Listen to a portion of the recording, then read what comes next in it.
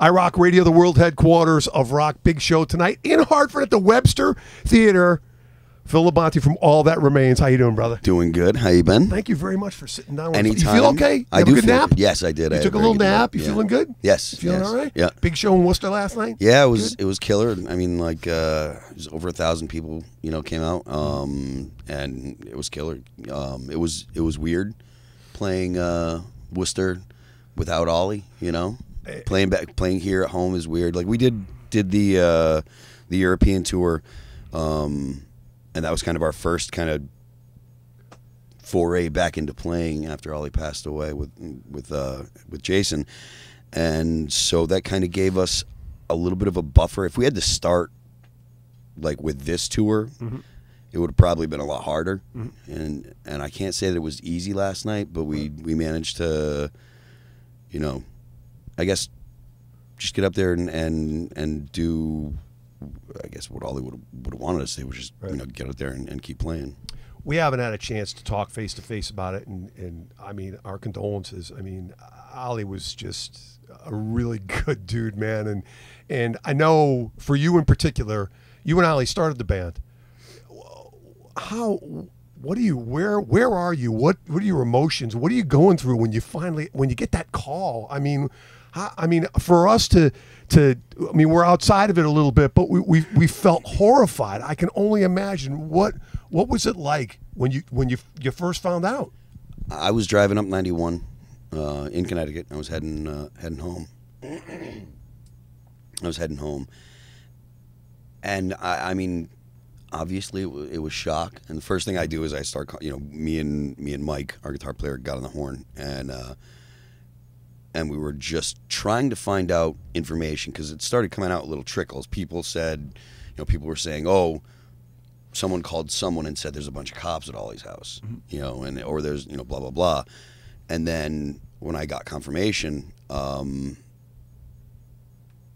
I guess the best way to say it was just it kind of didn't really really compute at first, I guess, um, and it took a little it took a minute for that to kind of kind of really hit me that you know I'd seen Ollie the weekend before and I wasn't going to see him again, you know.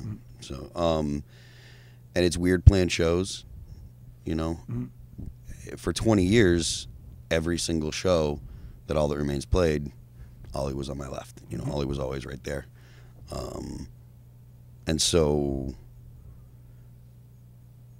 you know, it, it's it's been hard. You know, I can only imagine. I mean, and and again, we're we we were just uh, I was horrified. I mean, I've known Ollie as uh, as long as I've known you. I mean, you guys were like always together, and he was just uh, a unique character. He was a character. He was dude. definitely a character, he- yeah. on stage. he- You know, you guys were you guys would be rocking out, and he had just that way that way about him, and he Yeah. was just and to watch him give instructions on the bus and and to go through all his tablatures. He was a brilliant musician. I mean, Yeah, a lot of people don't know like the.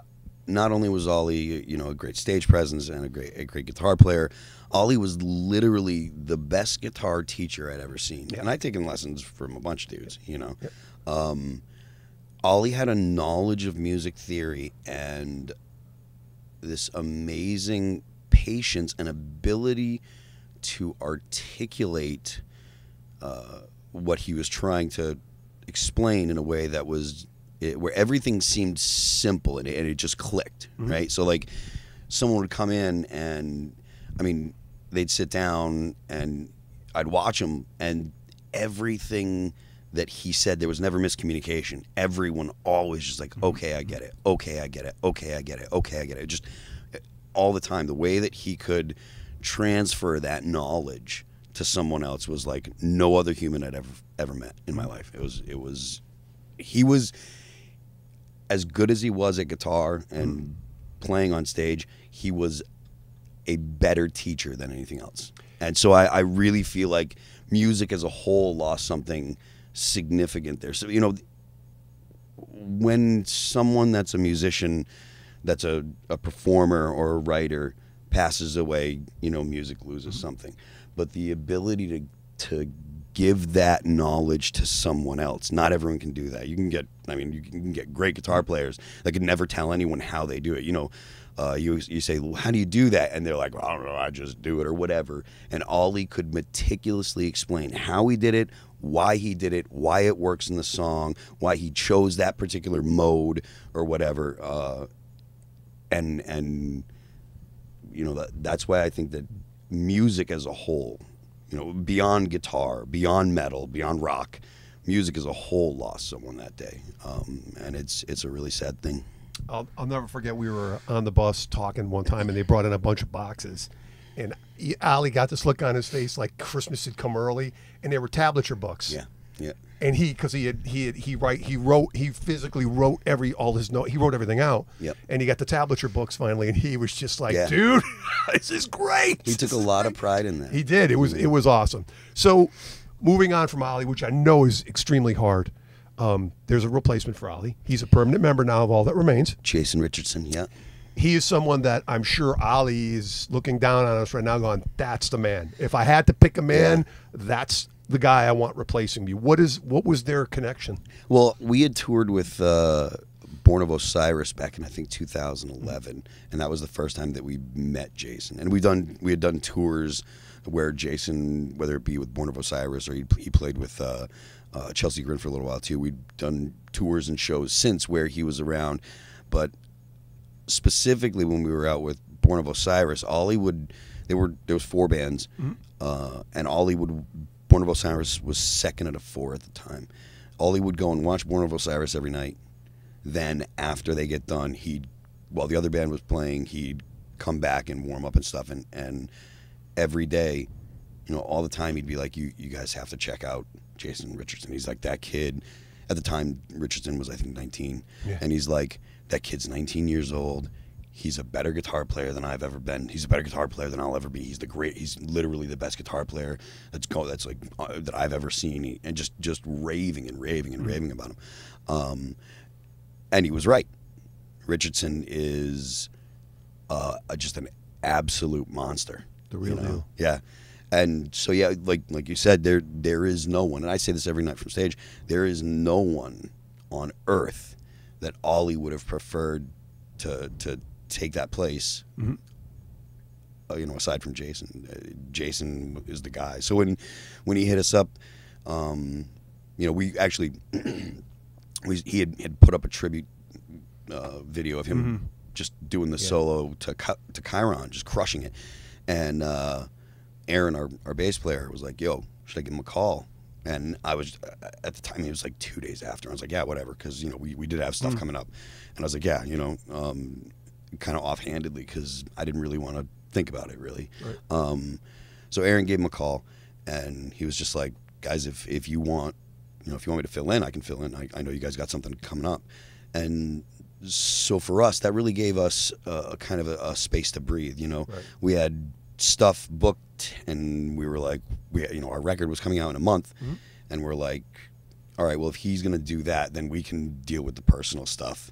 We know, we know that the the business of all that remains is handled. You know, our management can take care of this, and and we know that we've got the tour taken care of because Richardson's here. So, you know, me and Mike and Jason could kind of handle the the you know the hurt and and getting used to the idea and all the stuff that goes goes along with mourning when you lose someone. So um, he really kind of came in and saved us. And then when he he came out and within two days, you know, he, he came and we were rehearsing, and we're like the first couple hours that he was there.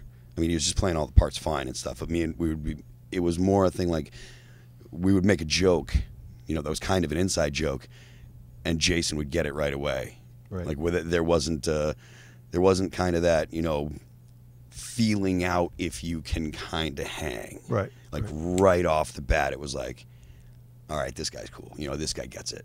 And I, I remember, you know, three or four times that day, I just kept looking over at Mike going, and, and Mike's like, you know, that, that, that kind of unspoken thing, Right, just right. like, you know, yeah, that's the guy. Right. So, um, you know, once we got on tour, we talked to him about it, and, and we're like, look, we know you got a solo project coming up, or we, we know you got a solo project. You got a solo record coming out that'll come out sometime this year, and we wanted to make sure that he understood that if he wanted to, to talk about joining the band or, or be a part of all that remains, it wasn't going to be a thing where we were going to be like, well, this you have to do and that you have to do and you can't do this and you can't do that. Um, you know, because all that remains has never been like that. We're all, we're we're our own thing, and anything someone does in the band outside of all that remains, from our perspective, only helps. So for us, we were like, look, we're fully supportive of you continuing your solo career, you doing all the stuff that you do, um, you know, in your solo career, as well as doing all that remains. And I think that once Jason kind of hung out with us and saw the way the band was run, and saw the because you know how some bands are some some bands there some bands there's one dude Yeah, You know? there's always one, bro. you know and and considering the fact that you know i'm i'm the guy that was you know the first guy that started the band and i have a certain uh there's a certain perception that people have it's not accurate but there's a certain we were perception gonna go there. We're, having a nice little talk.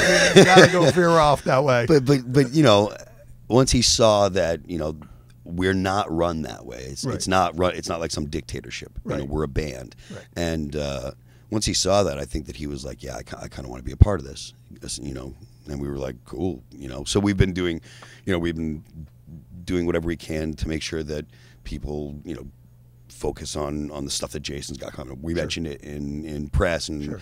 you know we went and did an interview with uh, with with a with a guy on the radio, and I was like, dude. Plug your plug your website, plug your Mm-hmm. you know plug your record, talk about this, plug, and he's like, oh, you know, cool, because like, you know, it's if you step into a new band, you don't know, and you're not sure what to do, and and we were just like, dude, whenever you win, we win, go, right. you know, Right. pay attention to this guy, people thought he was just filling in. He wasn't a full time member, and you had to come out on social media Yeah, and say that yeah. he's a full time member. We- so and one of the, the thing with that is, it's like if Ollie had quit, you know, you can go ahead and do the check it out. We got a new member, but Right. you know, Ollie died, and yeah, it's hard. It was hard for me to figure out the way to say that Jason was the the the new member of all that remains Right. because I didn't I didn't want to I didn't want to say that he was taking Ollie's place because you can't take Ollie's place. You know, It- it- he's he's playing lead guitar, but you know, it, might be closer to look at Jason as as like a sixth member right. than than Yeah. taking Ollie's spot. Sure. You know, Sure. um, and so we were trying to just we were we were trying to the first time that we talked about Jason being in the band, um, we had J- Jason just be the only voice in the press release, Sure. and it wasn't quite clear enough, Right. um, or people you know Mhm. people didn't quite pick up on it. So I went to my you know uh, Well, you, had to. I mean, yeah, you know, you I know. mean, you're you're you're the front of the band. Yeah. You and Ollie started the band, so your voice should have come out and made Yeah. that statement. So yeah, I get it. I totally get it. it's it's tough though you, you know because we don't want it we don't feel like he's taking Ollie's place Right. you know what i mean so it, it was tough for us to kind of figure out a way to relate that i guess Sure.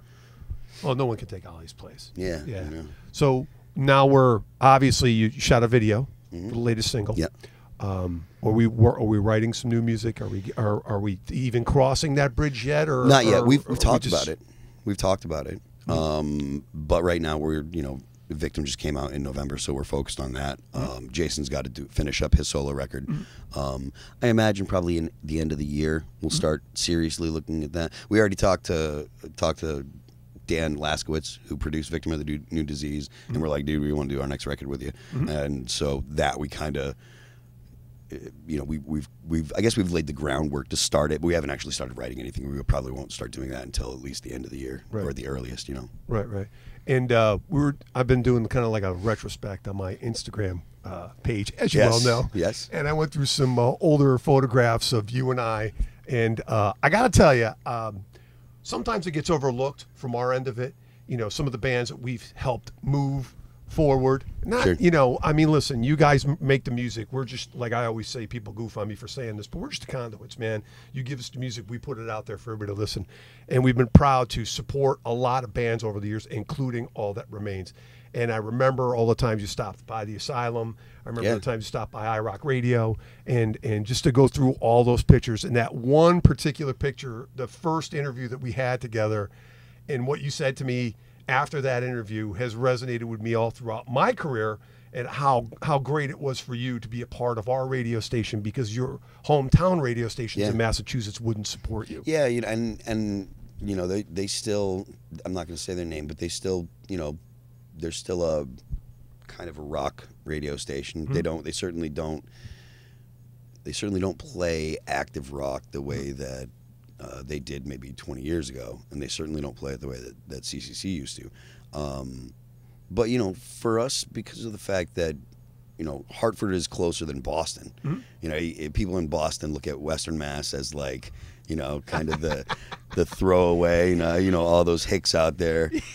They want our tax money out in Boston for the big dig, but they Right. don't want to go ahead and give us any any uh, any love. Uh-huh. Um, but you know, Hartford was never like that. Hartford, there's there is an argument to be made that maybe Western Mass is more northern Connecticut than Western Mass. Well, but, listen, come on, let's not go there. yeah, all well, I mean, right? hey, it, it, it's it, it's it's true. You know, uh, I I've spent people in Western Mass and and myself in particular. I've spent way more time in in Hartford and, and Northern Connecticut than I ever did in Boston. You know, so. Um, yeah, and, and CCC was a huge part of, of my life when I was, you know, a teenager growing up and stuff, listening to the radio. You know, I remember you know the Mel and Frank show and, and what? the Mel and Frank show, right? Yeah, Wait, are you gonna get me cranked up? Because I can get you cranked up, okay? You want to? You, I'm, not, I'm not trying to bring up. Uh, for you know, here. Come I'm on. Not, I'm not trying to bring up uh, uh, any beef or anything. I'm just saying that that I've listened to CCC for a long time. you Right. know? You know. Well, listen, we were really, um, again, I can't stress how how devastated we were about Ollie, and we're so. You can never replace a guy like that, but you guys have have have moved on, and you're going in the right direction, and that's the way Ollie would have wanted it. Yeah. So you know, his music will always live on through our airwaves. Uh, You know, iRock Radio. We will continue to support you guys as we did with WCCC, and Ollie will live on. Yeah. And we look forward to the next chapter. But um, so we're touring, getting the tour done. Yep. Take a little break. And uh, is it tour, tour, tour, tour? I know you love Europe. You love going to Europe. Well, I you know know.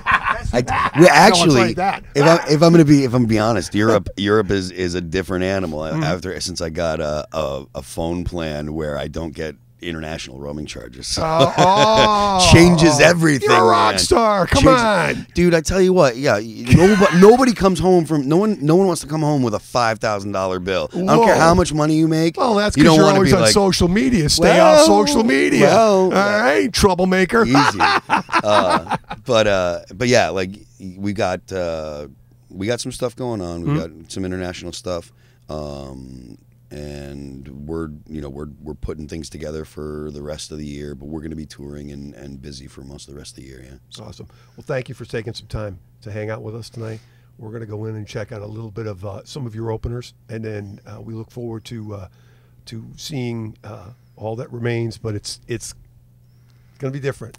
It's going to be different. It's def- definitely going to be different. it, I tell you what, it's going to be different, but it's just as good. Jason is is a monster, so he's he's nailing it. So You better have that hand movement down. he know, he does is- he is does Ollie proud. I love that. That was great. Phil Labonte, all that remains on iRock Radio, the world headquarters rock. Thank you, bro. Thank you very much.